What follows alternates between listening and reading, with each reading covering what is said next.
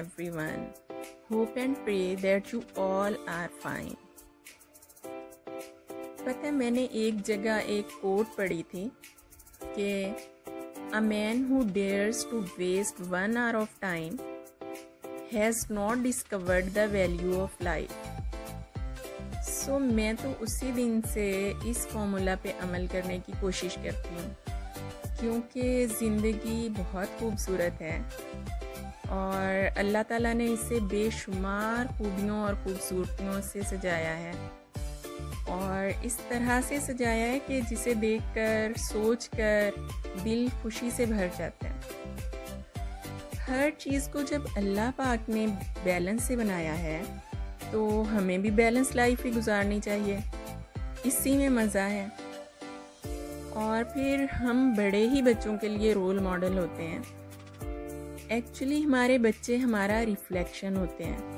सो so, आज हम जिस तरह से परफॉर्म करेंगे उनके सामने कल को वो भी वैसे ही रिएक्ट करेंगे।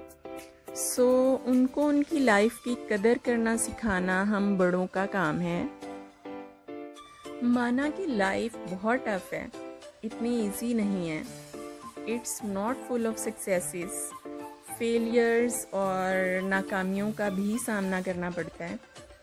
और हम लोग जैसे ही कुछ अपसेट होते हैं लाइफ में due to any ups and downs of life तो पता है हम इसके नतीजे में घर वालों के साथ स्पेशली बच्चों के साथ बहुत बैडली रिएक्ट करना स्टार्ट कर देते हैं। ये सोचे बिना कि इसका असर बच्चों पे, उनकी पर्सनैलिटी पे क्या इफ़ेक्ट छोड़ेगा। तो प्लीज़ अगर लाइफ में कहीं नाकामी का भी सामना हो तो कोई बात नहीं because if opportunity does not knock build a door ना कि हम गुस्सा घर वालों पे निकालना स्टार्ट कर दें। एक्चुअली हमारी ज़िंदगी का मकसद ना हमेशा खुश रहना होना चाहिए। जब हम खुद को खुश रखना स्टार्ट कर देंगे ना तो आई एम श्योर कि हम दूसरों को भी खुश रखने लायक हो जाएँगे। और फिर घर का एटमॉस्फेयर भी आइडियल हो जाएगा। और ना सिर्फ़ आपके लिए, बल्कि आपके बच्चों के लिए भी।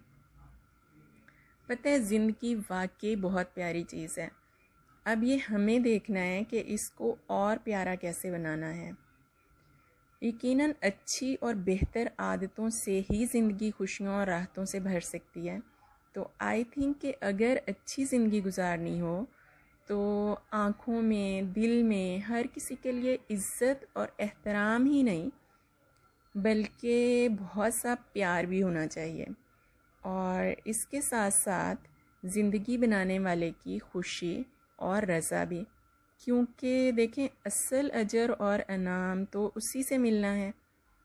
क्या करें? अब अल्लाह पाक ने दुनिया बनाई ही ऐसे है कि फूलों और कांटों के साथ, ख़ज़ा और बहार के साथ। लेकिन इन सब के बावजूद अल्लाह पाक ने कुछ बातें ऐसी ज़रूर रखी हैं इस ज़िंदगी में, जिनको देखकर, फील करके मुस्कुराने को जी चाहे।